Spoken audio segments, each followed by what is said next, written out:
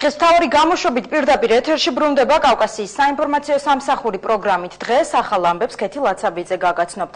პოლიციამ ჯორჯ ბუშის ქუჩაზე დღეს საღამოს სამი ადამიანი დააკავა, მათ შორისაა პუბლიცისტი ირაკლი კაკაბაძე. დაკავებულები ჯორჯ ბუშის ქუჩისთვის ამერიკელი პოეტის ვოლტ უიტმენის სახელის დარქმევას ითხოვდნენ და ამ მოთხოვნით ბუშის ქუჩაზე პროტესტ ვოლტ უიტმენისა და საკუთარი ლექსების ხმამაღალი კითხვით გამოხატავდნენ.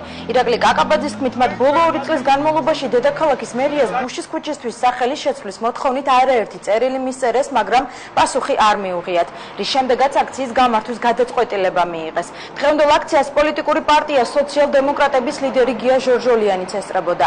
აქციის მონაწილეები პოლიციამ მას შემდეგ დააკავეს, რაც მათ ამერიკის ყოფილი პრეზიდენტის გამოსახულებიანი ბანერი და ტროტუარის აღებავებით შეღებეს. დაკავებულების ადვოკატი ამ დროისთვის არ პროსტუ სად იმყოფება ამჟამად ირაკლი კაკაბაძე.